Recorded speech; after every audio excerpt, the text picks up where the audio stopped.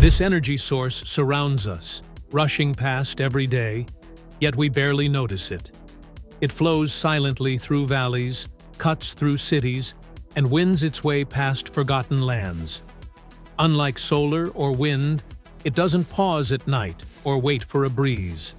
It moves with relentless consistency, hour after hour, day after day. Strangely, though, most of this power remains untapped, slipping past our grasp like water through fingers. Why, in a world desperate for clean energy, do we continue to ignore the endless kinetic force flowing through our rivers? The answer reveals a story of technology, ecology, and a radical new idea. The limitations of traditional hydropower. For most people, the word hydropower brings to mind enormous concrete dams holding back vast lakes. These structures, like the Hoover Dam or the Three Gorges, have been the backbone of renewable electricity for decades. Their sheer scale is impressive, and their energy output is undeniable. But building them comes with serious consequences. First, there's geography. Not every landscape can support a dam. You need the right elevation drop, massive amounts of water, and enough space to flood entire valleys. Many of the world's most suitable locations have already been used. The rest, either too small, too flat, or too environmentally sensitive. Then comes the environmental impact. Dams disrupt entire ecosystems. Fish migration patterns collapse. Sediment gets trapped, starving downstream areas of essential nutrients. Floodplains that once supported wildlife and farming vanish beneath reservoirs. Even local communities are often displaced, forced to abandon homes passed down for generations. There's also the issue of cost. Designing, engineering, and constructing these projects can take years, sometimes decades. And maintenance is a constant challenge. Repairs to aging infrastructure cost millions, and when something goes wrong, the fallout affects entire regions. For these reasons, large-scale hydropower isn't always the solution for future energy needs. We've harvested the easy wins. The untouched potential that remains is often locked behind technical and ecological barriers. This reality has left engineers, scientists, and policymakers looking for smaller, more flexible alternatives. Solutions that don't require reshaping entire landscapes. Something that can work with nature instead of against it. Why rivers are an untapped gold mine. All around the world, rivers keep flowing. Day and night, through heat waves and cold snaps, their water never stops moving. Unlike solar panels that sit idle under cloudy skies or wind turbines waiting for a breeze, rivers offer a constant, predictable stream of energy. It's nature's conveyor belt, running 24-7. Yet, when you look at how much of this river energy we use, the number is shockingly low. The main reason? Most rivers don't have the dramatic elevation drops needed for traditional turbines. In energy terms, they're called low-head sites. The water doesn't fall from great heights. It just glides along, steady but gentle. For decades, engineers struggled with how to generate useful power from such slow-moving water. Then there's the environmental factor. Rivers are teeming with life. Fish, insects, and amphibians, all part of delicate ecosystems that turbines with spinning metal blades could easily destroy. Creating barriers or redirecting flows often harms breeding grounds and migration paths. Infrastructure is another barrier. Building channels or small dams, even for low-head projects, means changing the river's shape. That's expensive, time-consuming, and frequently met with public resistance. But perhaps the biggest frustration is how widely distributed these rivers are. Small, scattered streams don't produce enough power for giant utilities to care. Yet, for off-grid communities, farms, or rural schools, Tapping just a fraction of that flow could be life-changing. That's where new thinking comes in. Instead of forcing rivers to work for us, what if we built technology that works with them? What if there was a way to pull energy from these flowing waters, quietly, safely, and without the need for massive construction projects? This is where the next chapter in small hydropower begins. Now first, like always, be sure to hit the like button down below. It helps us out tremendously with the reach of this video. Thank you. The Bladeless Revolution What makes this turbine different? Imagine a hydro turbine with no blades, no sharp metal edges slicing through fast-moving currents, no spinning parts pose a danger to fish or collect tangled debris. Just a smooth, uninterrupted flow of water.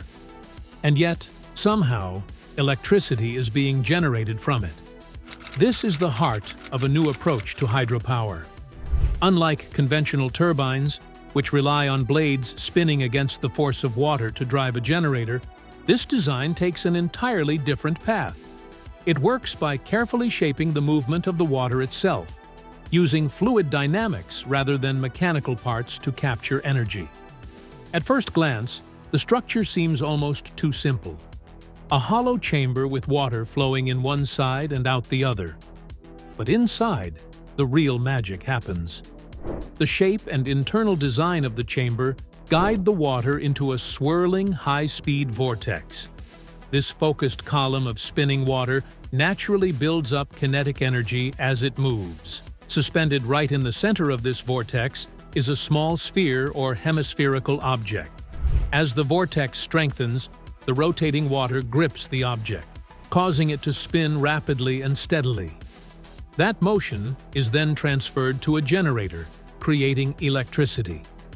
This bladeless design brings two major advantages. First, it's far safer for aquatic life. Fish can pass through without injury. Second, it makes energy harvesting possible in places previously considered unworkable. Shallow streams, slow-moving rivers, and even man-made channels it's a completely new way of thinking about water and energy. Understanding the physics, how vortex energy extraction works. At the center of this bladeless turbine lies a fascinating natural force, the vortex. You've probably seen one before, maybe as water drains from a sink, or when a whirlpool forms in a river. But turning that swirling motion into electricity takes clever engineering. Everything starts with rotation. For a vortex to exist, the water needs an initial spin. Once that happens, physics takes over. As the water spirals inward, it speeds up near the center. This is due to the conservation of angular momentum, the same principle that makes an ice skater spin faster when pulling their arms inward. But here's the challenge. Rivers don't naturally create this spin. Unlike draining a bathtub, there's no central hole pulling water down. The turbine's internal shape solves this by guiding the water into a controlled spiral as it flows through. Flow channels and curves inside the turbine help steer the water just right. Suspended inside this vortex is a small movable object, usually shaped like a ball or hemisphere. As the vortex builds, it grips this object and spins it faster and faster. This rotational energy then connects to a generator. What makes this so unique is how gentle and efficient the process is. It doesn't rely on fast blades or high-pressure jets, just the simple, continuous motion of water shaped by physics. The unique engineering twist. What makes this turbine truly unique isn't just the absence of blades or its use of vortex physics, it's the smart way. It creates and maintains that vortex inside a constantly moving river. Unlike still water in a bathtub, river water flows steadily in one direction, usually without any natural spin. This presented a challenge, how to start and sustain rotation in such conditions. The answer lies in the turbine's internal design, specifically a movable object like a ball or hemisphere. Before power generation even begins, This object rests slightly off-center inside the chamber, held there by the force of the flowing water. As the current moves through, tiny fluctuations in the flow nudge the object, causing slight movements. These small, seemingly random shifts are enough to trigger the initial spin needed to form a vortex. Once the vortex strengthens, the object's rotation speeds up, driving a connected generator. Engineers can adjust the size, shape, and placement of this internal element to suit different river speeds and conditions. Some even suggest altering the material or surface texture for better performance. It's a simple, yet highly effective way to turn unpredictable river flow into steady, usable energy. Efficiency, costs, and real-world comparisons. When it comes to energy solutions, performance and cost often dominate the conversation. So, how does this new bladeless hydro turbine compare to more established options like solar panels or traditional hydropower systems? In terms of pure efficiency, it's not breaking records. Classic large-scale hydropower setups, like the Francis and Kaplan turbines, can hit over 90% efficiency. Even many low-head turbines, designed for slower water flows, typically reach around 70 to 75%. This bladeless design, by comparison, currently sits in the 50 to 55% range, depending on site conditions and flow rates. But raw efficiency doesn't tell the whole story. What makes this turbine valuable is its ability to operate where other systems simply can't. Shallow rivers, low-gradient streams, and sensitive environmental zones are all places where traditional turbines would be impractical or even harmful. The bladeless design minimizes disruption to fish, wildlife, and natural water flow. Cost is another factor to consider. Right now, installing one of these units costs more upfront than setting up a comparable solar array.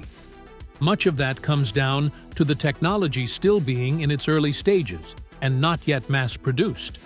But unlike solar, this turbine runs continuously, day and night, rain or shine, eliminating the need for expensive battery storage. Over time, that steady output could make its overall cost per kilowatt-hour quite competitive, especially in off-grid or rural locations where reliability matters more than efficiency charts. More than just an engineering curiosity, this technology represents a way to bring dependable, renewable power to places long overlooked by large energy providers. As the design matures and production scales up, its role in sustainable energy solutions could grow significantly.